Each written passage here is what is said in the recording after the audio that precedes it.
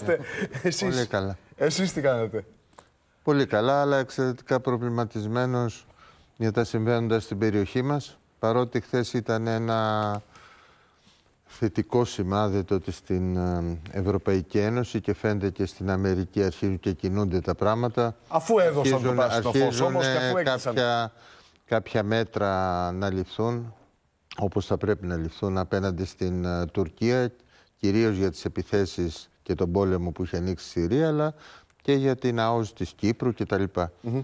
Είναι ενθαρρυντικό αυτό, αλλά σε ένα τοπίο εξαιρετικά ε, έτσι, νεφελώδες και οδυνηρό για την περιοχή μας, με μεγάλη αστάθεια και φοβάμαι, επειδή άκουγα και την προηγούμενη κουβέντα που κάνατε, Για ότι το προσφυγικό. φοβάμαι ότι αυτά τα οποία συζητιόντουσαν αυτούς τους μήνες μπορεί αν έχουμε δραματικές εξελίξεις στην περιοχή να μην είναι τίποτα μπροστά σε αυτά που μπορούν να συμβούν.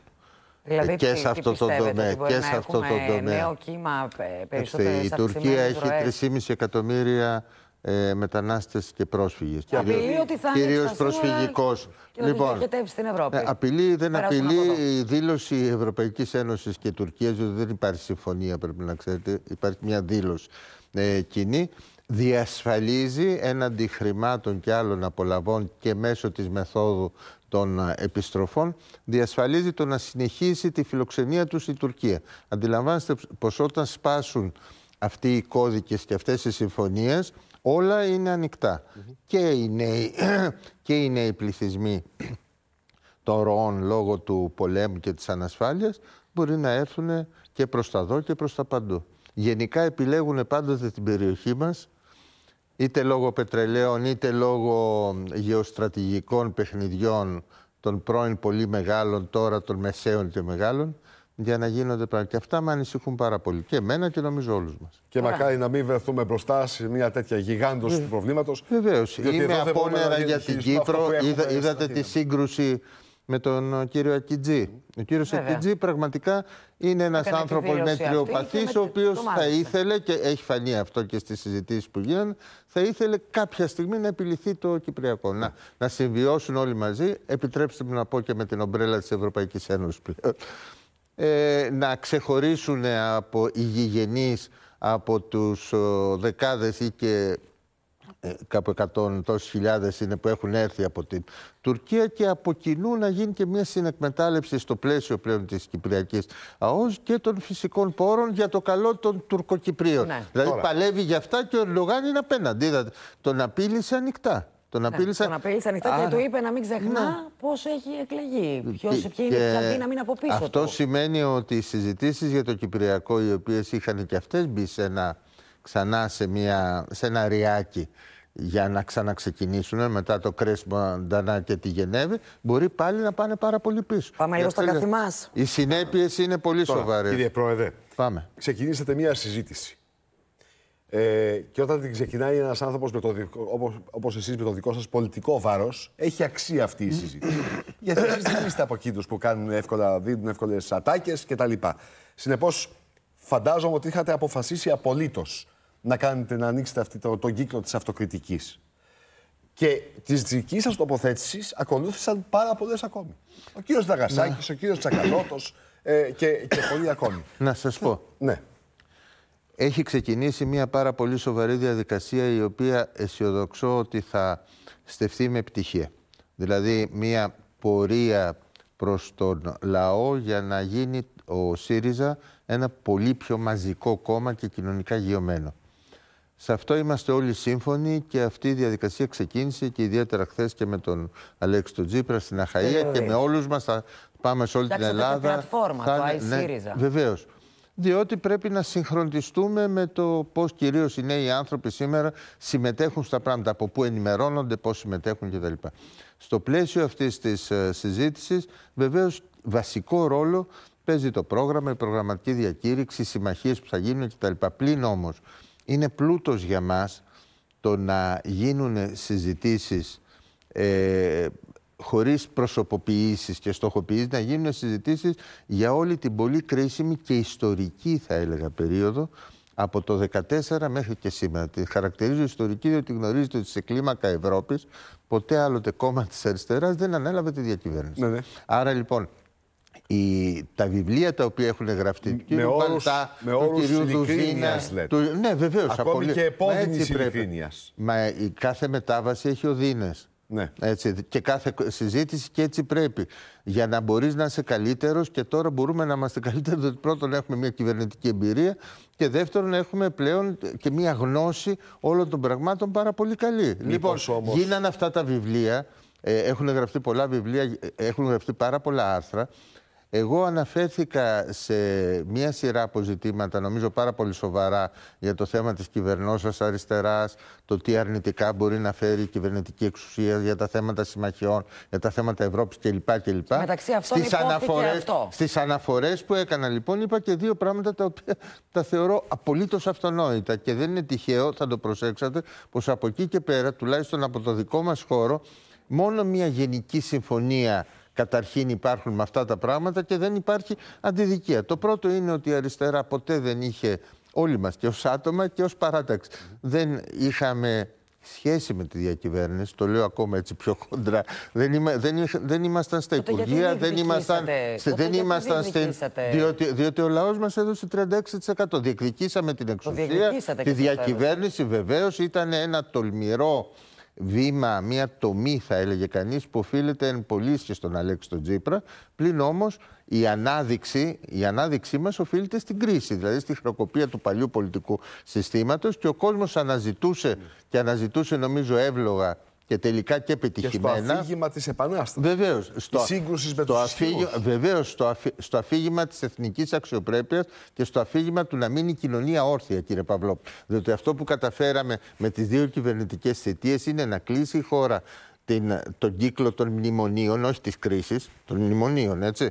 Ε, με, να έχουμε ένα μαξιλάρι, να μπορεί και η σημερινή κυβέρνηση, όπως είδατε, να λέει θα κάνω αυτό το άλλο χωρίς το άγχος το οικονομικό και η κοινωνία να μείνει όρθια, να μειωθούν 11% η ανεργία. Δηλαδή είχαμε επιτυχίες, ήμασταν αποτελεσματικοί τελικά. Αφού Δηλαδή, παρήλθε Εν όμως το, τέλει- ποδί, εν το τέλει δεύτερο στη εξάμηνο. διακυβέρνηση. Αφού, Γιατί ο- αφού δε- πα- δέχεστε ότι το σας λέω, εξάμηνο αυτό αφού ήταν παρήλθε, ολέθριο. όχι, όχι.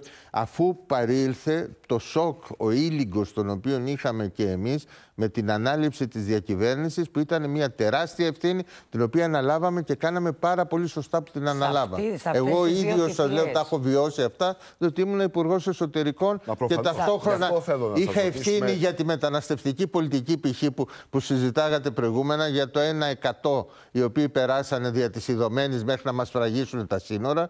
Είχα ευθύνη για το Υπουργείο Διοικητικής Μεταρρύθμισης πέρα. και παρόλα αυτά πιστεύω ότι πορευτήκαμε. Κύριε Βούτση, σε αυτές Δεν τις δύο είχαμε όμως, θητείες. σα- να- ε, επιτρέψτε μου διότι σε αυτό Ναι. είχα αναφερθεί ιδιαίτερα στη συζήτηση και είναι ένα γεγονός και το ξέρουν όλοι. Δεν είχαμε, επειδή ποτέ δεν ήμασταν στη διακυβέρνηση μέσα στα Υπουργεία, δεν είχαμε αυτό που έχει η Νέα Δημοκρατία και το ΠΑΣΟΚ, αν θέλετε και λόγω του πελατειακού συστήματος που είχαν αναπτύξει, που είχαν τις προσβάσεις μέσα στις δημόσιες υπηρεσίες και τους οργανισμούς για να μπορούν εύκολα την πολιτική τους να την περάσουν. Εμείς δεν το είχαμε αυτό.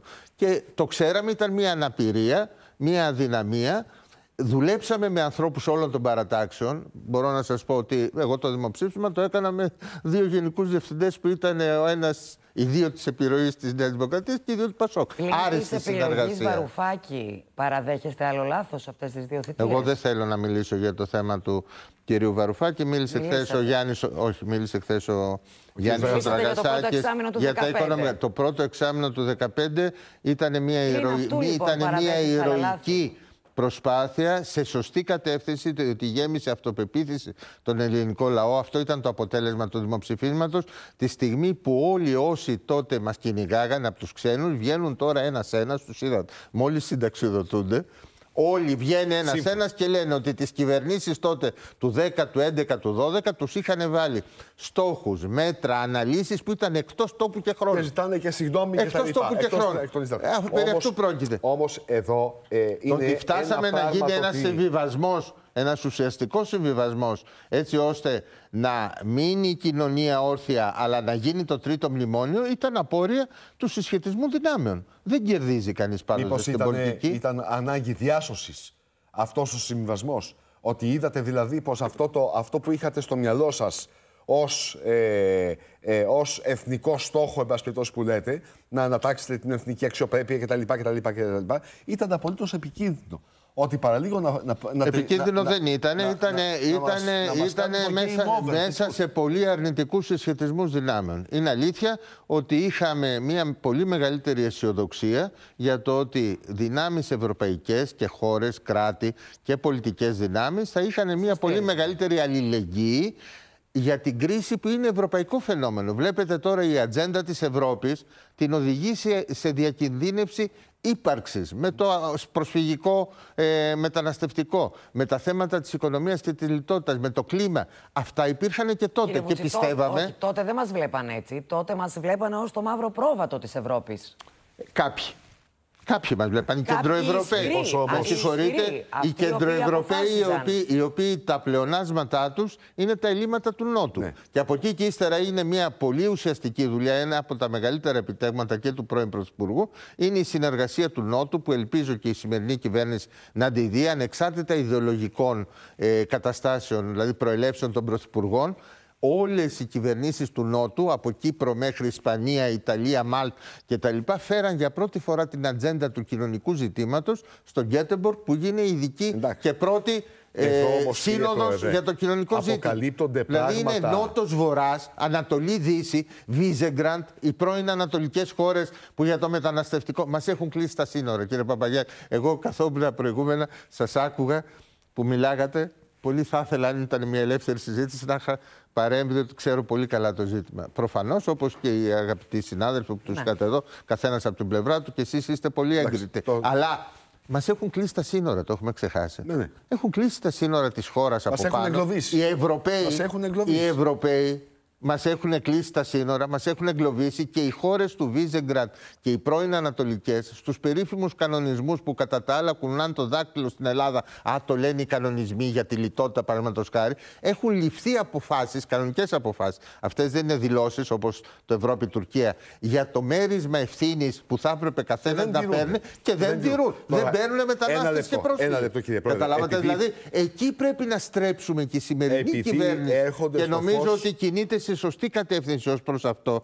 Εκεί πρέπει να στρέψουν την προσοχή τους, να επιβάλλουμε στην Ευρώπη τα, τα σύμφωνα αλληλεγγύης που δεν τηρήσανε για την οικονομία. Κύριε Πρόεδρε, επειδή έρχονται στο φως σημαντικές λεπτομέρειες για εκείνη την ταραγμένη εποχή.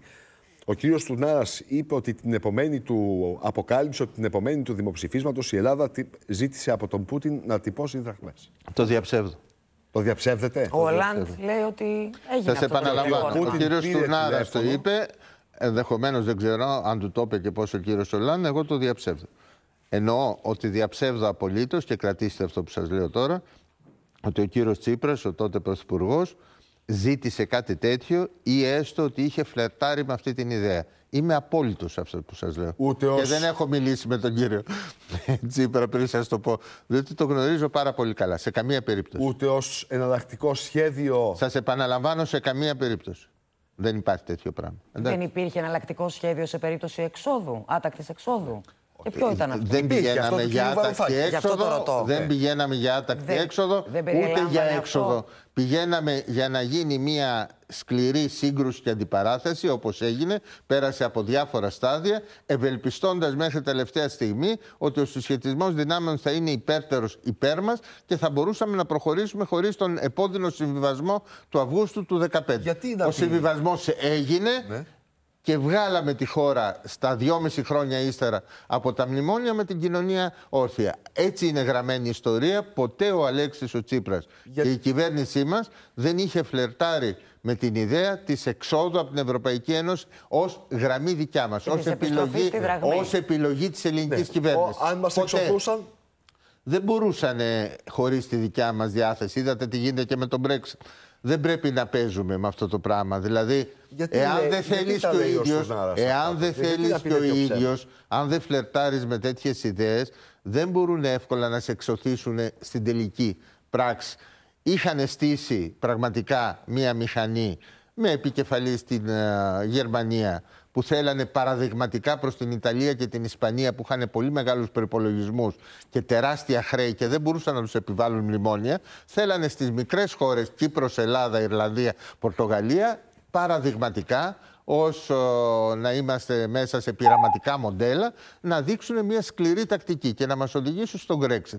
Δεν το πετύχανε, βοηθήσαν και κάποιοι ε, σύμμαχοι από την Ευρώπη στην κρίσιμη φάση, δεν το πετύχανε και αντίθετα τελικά επιλέξαμε και προχωρήσαμε έναν άλλο. Πάντως εσείς μιλάτε... Εγώ θέλω ναι, να Άκη. επιμείνω, Πάντως γιατί ποτέ, ο κύριος Τουρνάρας ποτέ τότε- δεν παίξαμε κορώνα γράμματα, ποτέ ούτε μια στιγμή. Ε, ο ίδιος ο τότε Πρωθυπουργός και το κυβερνητικό επιτελείο δεν παίξαμε κορώνα γράμματα το μένουμε ή φεύγουμε ως δικιά μας επιλογή. Σε καμία Αυτό, περίπτωση. αυτό που βάζετε, ε, ε, αυτό που Αυτή βάζετε ήταν. ως, το ως δικιά μας επιλογή... Ως χώρα δηλαδή, ως Μάλιστα, επιλογή της ναι, χώρας. Ποτέ. ε, αφήνει ένα, ένα κενό να υπάρχει. Ότι, ε, και είναι εύλογο το ερώτημα. Εντάξει, αυτό δεν το είχαμε ως δικιά μας επιλογή. Αυτό που λέει ο Στουρνάρας είναι και δε- δεν καταλαβαίνω γιατί να πει τέτοιο ψέμα, γιατί τότε ο Στουρνάρας ήταν κεντρικό τραπεζίτη.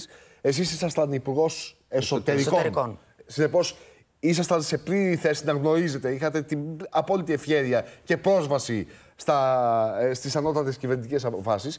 Γιατί να πείτε το πράγμα, το, τόσο χοντρό ψέμα ως Τουρνάρας.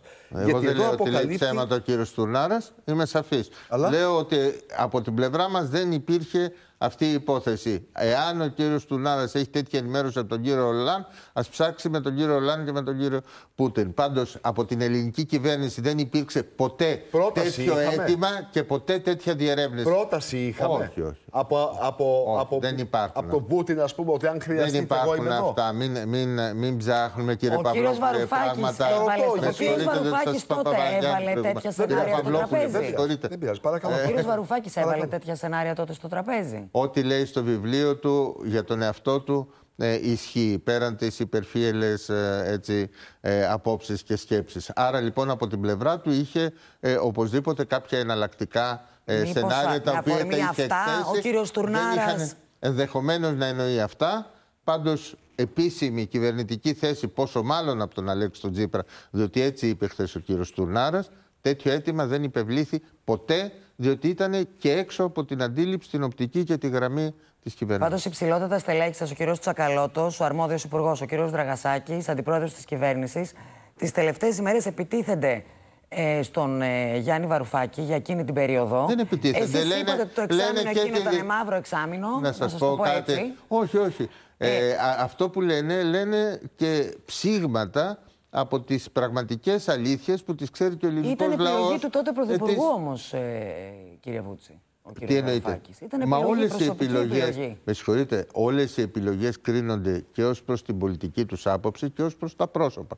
Για όλους μας. Όλοι κρινόμαστε. Όταν μπαίνει στην πολιτική ή όταν κάνουν πολιτική, γι' αυτό γίνονται και ανασχηματισμοί. Προς Θεού. Δηλαδή ήταν μια επιλογή η οποία από ένα σημείο και ύστερα, επιτρέψτε μου την, την αδόκιμη έκφραση, στράβωσε και κυρίως στις σχέσεις που είχε ο κύριος Βαρουφάκης με τους υπόλοιπους υπουργούς οικονομικών μέσα στα Eurogroup. Δεν μπορούσε να, να, οδηγη- να οδηγήσει σε έναν ε, προθετικό συμβιβασμό Ναι. και ο ίδιος ο Πρωθυπουργός προχώρησε σε ένα σχηματισμό. Άλλο του. λάθος Αυτή λοιπόν. είναι η αλήθεια. Πλην εκείνου του εξαμήνου, πλην της επιλογής Βαρουφάκη, αναγνωρίζετε κάποιο άλλο σημαντικό λάθος που θεωρείτε; Πέ- Πέραν, πέραν από εκτιμήσεις οι οποίες υπήρχαν που άλλοτε βγαίναν ή δεν βγαίναν, όπως γίνεται συχνότατα στην, ε, στη, στη διακυβέρνηση, δεν μπορώ να επισημάνω κάτι Κύριε άλλο. Πρόεδρε. Ίσα ίσα ο κύριος Τσίπρας στην, ε, στη ΔΕΘ, αν είδατε, αναφέρθηκε σε τέσσερις μεγάλους τομείς που αυτοκριτικά μιλώντας της κυβερνητικής θητείας μέχρι τα τώρα και όλα, μέχρι τον Ιούλιο που ήταν σημαντική. Παραδείγματος χάρη για, την, για το περιβάλλον και την οικολογία ή για τα ζητήματα των οικονομικών μέτρων, κατά πόσον ήμασταν τόσο τολμηροί πριν να έχουμε τα τελικά στοιχεία από τη Eurostat και την Elstat να προχωρήσουμε όπως φάνηκε στις απόλυτα ανεκτές από την οικονομία παροχές κλπ. κλπ. Έχουμε κάνει αυτή τη συζήτηση και συνεχίζουμε να την κάνουμε. Εγώ έχω πει επανειλημμένα όπως και άλλοι συνάδελφοι ότι ίσως θα έπρεπε η συνεργασία με τον κύριο Καμένο να είχε λήξει αρκετά πιο νωρίς, αμέσως Πότε μετά. δηλαδή; Μόλις έληξε το πρόγραμμα. Τον Αύγουστο, τον Σεπτέμβριο δεν είχαμε λόγο από εκεί και ύστερα το μνημόνιο, αντιμνημόνιο δεν ήταν διαχωριστική, ούτε είναι τώρα γραμμή ανάμεσα στις πολιτικές δυνάμεις. Δεν Άρα, υπήρχε τότε. εφόσον μάλιστα ο κύριος Καμένος για το θέμα της συμφωνίας των Πρεσπών. Πρέσπες.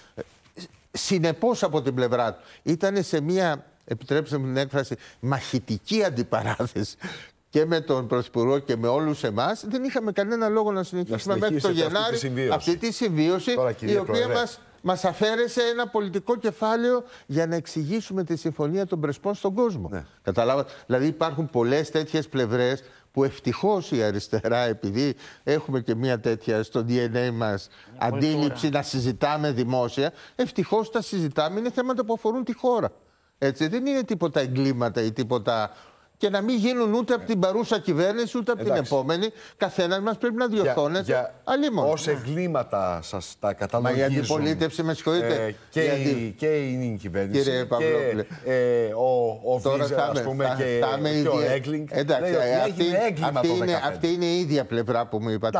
Όλη αυτή η πλευρά είναι η ακραία του λαϊκού κόμματος. Αλλά υπάρχει και το αποτέλεσμα, το ταμείο. Δηλαδή το ταμείο ήταν εξαιρετικό. Ναι, το ταμείο ήταν ότι με ένα τρίτο μνημόνιο το οποίο δεν είχαμε την ιδιοκτησία του ποτέ ούτε την αποκτήσαμε, αλλά και με ένα παράλληλο πρόγραμμα το οποίο κάναμε, όχι μόνο βγήκε η χώρα από το μνημόνιο και κατέβηκαν 11 ε, μονάδες η ανεργία, αλλά παραδώσαμε και όλα μια οικονομία η οποία πράγματι με τον buffer, με το μαξιλάρι που έχει, μπορεί σε διεθνείς κραδασμούς οικονομικούς, κρατήστε το, αυτό το θέμα να αντέξει. Αυτό είναι το Ταμείο σε γενικές γραμμές. Εάν... Από εκεί και πέρα βεβαίως μέρος της κοινωνίας δεν είναι ικανοποιημένο από το Ταμείο του ΣΥΡΙΖΑ. Θέλαν περισσότερο, θέλανε καλύτερα. Βέβαια. Ειδικά από μια αριστερή κυβέρνηση. Έτσι. Λοιπόν, αν γυρίζαμε, αν μπορούσαμε να γυρίσουμε το χρόνο ε, πίσω, συγγνώμη που το λέω έτσι εύκολα, ναι. αλλά για την οικονομία της συζήτησης.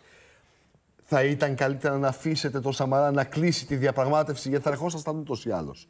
Και να παραλάβετε ε, τη χώρα έτσι ώστε να γλιτώσουμε το εξάμεινο. Θα σας πω κάτι ευθέως, διότι ε, αυτά τα οποία γράφτηκαν χθες και προχθές, επειδή δεν ξέραν πρόσωπα και πράγματα. Δεν... Ε, εγώ τότε ήμουνα της ε, αντίληψης ε, την οποία τελικά ε, προχωρήσαμε ως πολιτική.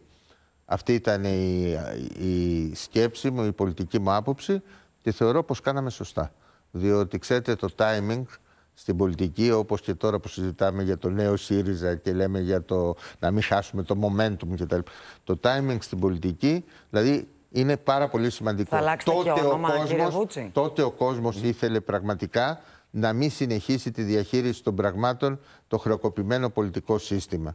Και νομίζω ότι σωστά ανταποκριθήκαμε σε εκείνη την πρόκληση που είχε πολλά ρίσκα και πολλές αδυναμίες. Άλλοι σύντροφοι, άλλοι συνάδελφοι ήταν άλλης άποψης. Θα αλλάξετε όνομα στο ΣΥΡΙΖΑ, επειδή λέτε ο νέο ΣΥΡΙΖΑ. ΣΥΡΙΖΑ θα είναι ΣΥΡΙΖΑ.